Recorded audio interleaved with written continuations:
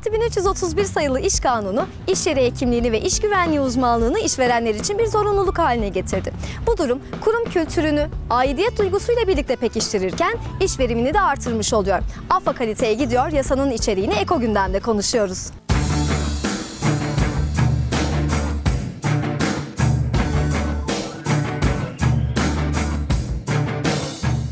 Ve Türkiye'de meydana gelen hızlı sanayileşme ve teknolojik gelişmelerle doğru orantılı olarak özellikle iş yerlerinde çalışan kişilerin güvenliğiyle ilgili bazı sorunlar açığa çıktı.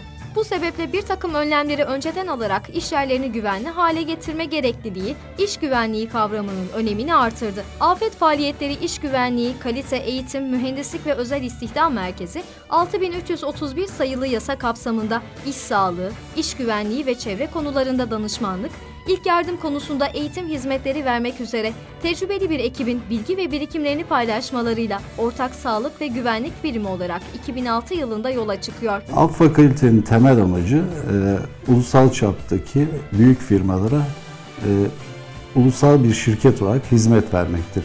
Temel e, hedefimiz budur. Bu anlamda İstanbul bizim için bir başlangıç noktası olmuştur.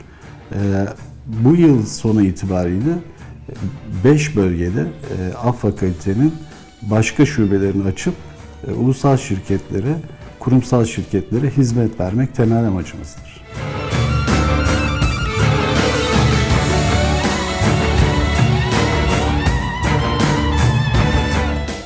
Kalite İş Sağlığı Koordinatörü Doktor Aykut Dikkatli, yasal değişiklik sonucu ortak sağlık ve güvenlik birimlerine duyulan ihtiyacın artmasının rakamlara da yansıdığını söylüyor. Bugün itibariyle 575 e, adet ortak sağlık güvenlik birimi kurulduğunu e, Çalışma Bakanlığı'ndan öğrenmiş durumda durumdayız. Çalışma Bakanlığı'nın öngörülerine göre bu yıl sonu itibariyle bin kadar ortak sağlık güvenlik birimi kurulacaktır. Fakat bizim öndeğimize göre bu ekipler yetersizdir.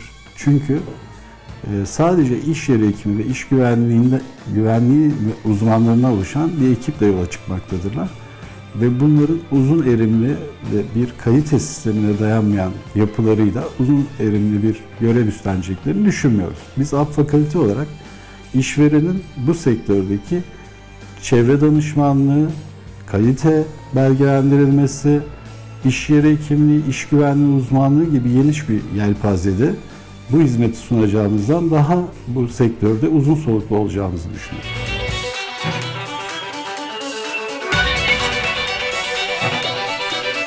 Afet Faaliyetleri OSGB Sorumlu Müdürü Mahmut Çetin, işveren ve ortak sağlık güvenlik birimi arasında yaşanan sürece dair bilgilendiriyor. Öncelikle çalışan sayısı ve tehlike sınıfı tespit ediliyor iş yerinin.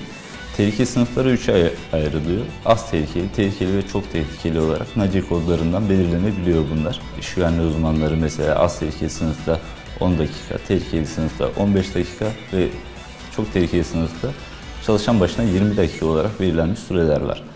Ee, misal 60 kişilik e, bir tekstil fabrikasında eğer çok tehlikeli sınıftaysa 20 dakika çalışacağı için toplamda 20 saat bir iş güvenliği uzmanı burada görev almak zorunda. Ayda 20 saat.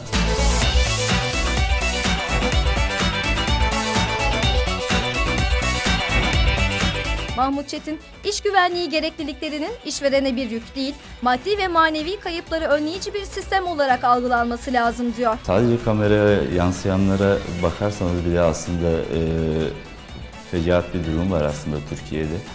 Özellikle e, tersanelerimiz, inşaatlarımız, e, elektrikli çalışmalarda çok büyük sıkıntılar var. İş güvenliği aslında işverenlere bir maliyet gibi görünüyor ancak e, gayri safi milli hasılaya e, şöyle bir faydası var. Sağlığa e, harcadığımız giderler o kadar fazla ki iş güvenliğinde iş kazalarından dolayı oluşan bu giderleri e, aslında iş güvenliği uzmanları ve iş yeri hekimlerinin koruyucu önleyici tedbirlerine aktarılması e, maliyetleri dengelemiş oluyor.